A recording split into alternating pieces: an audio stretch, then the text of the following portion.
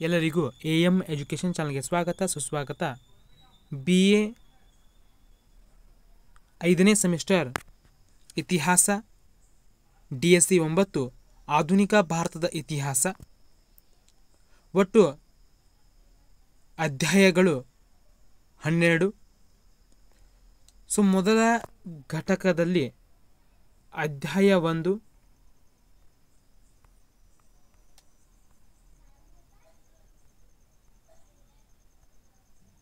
ಅಧ್ಯಾಯ ಒಂದು.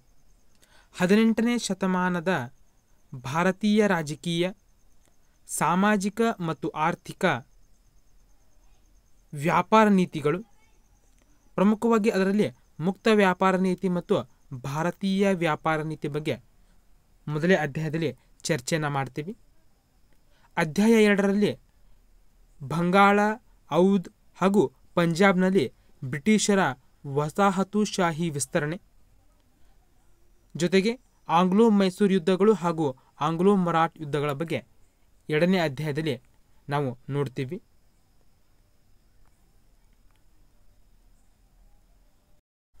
ಅಧ್ಯಾಯ ಮೂರರಲ್ಲಿ ನಾವು ಇಂಪೀರಿಯಲ್ ಐಡಿಯಾಲಜಿ ಬಗ್ಗೆ ನೋಡ್ತೀವಿ. ಘಟಕ ನಾಲ್ಕರಲ್ಲಿ ಅಧ್ಯಾಯ ನಾಲ್ಕು, ಬ್ರಿಟಿಷ್ ಆಡಳಿತ ಮತ್ತು ಕಾನೂನು. ಇಂಗ್ಲಿಷ್ ಶಿಕ್ಷಣದ ಪ್ರಸಾರ ಲಾರ್ಡ್ ಮೆಕಾಲೆ ಅವರ ವರದಿ ಸಾರ್ವಜನಿಕ ಶಿಕ್ಷಣ ನೀತಿ ಕುರಿತು ಚರ್ಚೆನ ಮಾಡ್ತೀವಿ. ಅಧ್ಯಾಯ ಐದರಲ್ಲಿ ಹೊಸ ಭೂ ಸುಧಾರಣೆಗಳು, ಪ್ರಮುಖವಾಗಿ ಜಮೀನ್ದಾರಿ, ಮಹಲ್ದಾರಿ ಹಾಗೂ ರೈತವಾರಿ ಪದ್ಧತಿ ಬಗ್ಗೆ. ಅಧ್ಯಾಯ ಆರರಲ್ಲಿ ಕೃಷಿ ವಾಣಿಜ್ಯೀಕರಣ ಮತ್ತು ಭೂ ವಿಭಜನೆ. ಅಧ್ಯಾಯ ಏಳರಲ್ಲಿ ಕೈಗಾರೀಕರಣ, ಬ್ರಿಟಿಷ್ ಕೈಗಾರಿಕಾ ನೀತಿ ಮತ್ತು ಹತ್ತಿ ಕೈಗಾರಿಕೆಗಳ ಕುಸಿತ. ಅಧ್ಯಾಯ ಎಂಟರಲ್ಲಿ,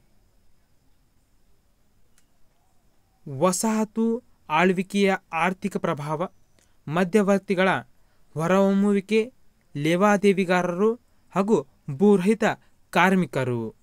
ಅಧ್ಯಾಯ ಒಂಬತ್ತರಲ್ಲಿ, ಜಾತಿ ತಾರತಮ್ಯ, ಅಸ್ಪೃಶ್ಯತೆ, ಲಿಂಗ ತಾರತಮ್ಯ, ಬಂಗಾಳದಲ್ಲಿ ಕೂಲಿಸಂ ಸತಿ ವ್ಯವಸ್ಥೆ ಸ್ತ್ರೀ ಶಿಶು ಹತ್ಯೆ ಹಾಗೂ ವಿಧವಾ ವಿವಾಹ ಕುರಿತು ಒಂಬತ್ತನೇ ಅಧ್ಯಾಯದಲ್ಲಿ ಚರ್ಚೆನ ಮಾಡ್ತೀವಿ.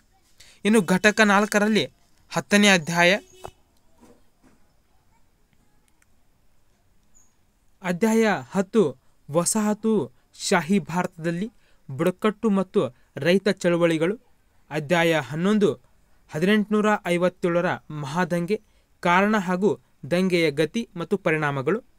ಈ ಒಂದು ವಿಷಯದ ಕುರಿತು ನಾವು ನೋಡ್ತೀವಿ. ಇನ್ನು ಕೊನೆಯ ಅಧ್ಯಾಯ ನಕ್ಷೆಗೆ ಸಂಬಂಧಪಟ್ಟಂತೆ ಭಾರತದಲ್ಲಿ ವಸಾಹತುಶಾಹಿ ಅವಧಿಯ ಮುಖ್ಯ ಕೇಂದ್ರಗಳು ಹಾಗೆ ಹದಿನೆಂಟುನೂರ ಐವತ್ತೇಳರ ಮಹಾದಂಗೆಯ ಪ್ರಮುಖ ಕೇಂದ್ರಗಳ ಕುರಿತು ಹನ್ನೆರಡನೇ ಅಧ್ಯಾಯಲ್ಲಿ ನಾವು ನೋಡ್ತೀವಿ.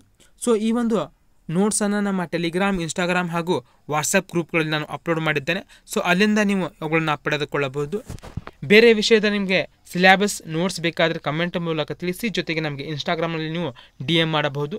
ಈ ಒಂದು ವಿಡಿಯೋ ನಿಮಗೆ ಇಷ್ಟವಾಗುತ್ತೆ ಲೈಕ್ ಮಾಡಿ ಶೇರ್ ಮಾಡಿ, ಹಾಗೆ ತಪ್ಪದೆ ಸಬ್ಸ್ಕ್ರೈಬನ್ನು ಮಾಡಿ. ಧನ್ಯವಾದಗಳು.